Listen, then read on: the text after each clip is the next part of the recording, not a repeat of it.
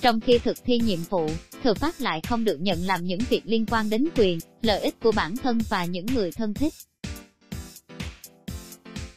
Nghị định tháng 8 năm 2020 về tổ chức và hoạt động của thừa phát lại có hiệu lực từ ngày 24 tháng 2. Sau một thời gian dài chỉ được thí điểm tại thành phố Hồ Chí Minh, tổ chức và hoạt động của thừa phát lại chính thức được chính phủ công nhận tại Nghị định tháng 8 năm 2020.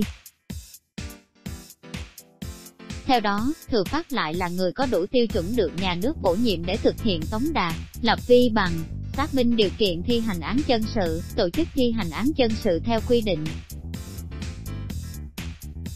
Tống đạt là việc thông báo, giao nhận giấy tờ, hồ sơ, tài liệu do thừa phát lại thực hiện.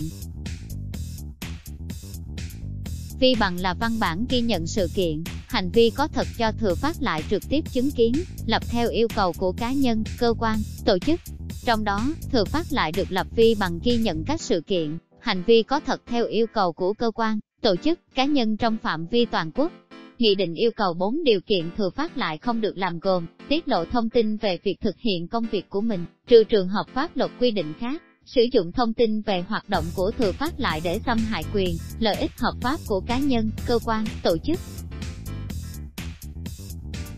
Người làm công việc này không được đòi hỏi thêm bất kỳ khoản lợi ích vật chất nào khác, ngoài chi phí đã được ghi nhận trong hợp đồng, họ cũng không được kiêm nhiệm hành nghề công chứng, luật sư, thẩm định giá, đấu giá tài sản, quản lý, thanh lý tài sản.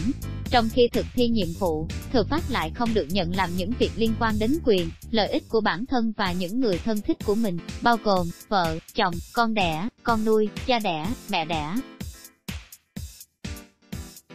Các trường hợp không được lập vi bằng nghị định, cũng quy định vi bằng không thay thế văn bản công chứng, chứng thực, văn bản hành chính khác, nhưng đó là nguồn chứng cứ, để tòa án xem xét khi giải quyết vụ việc dân sự và hành chính, là căn cứ để thực hiện giao dịch giữa các cơ quan, tổ chức, cá nhân theo quy định.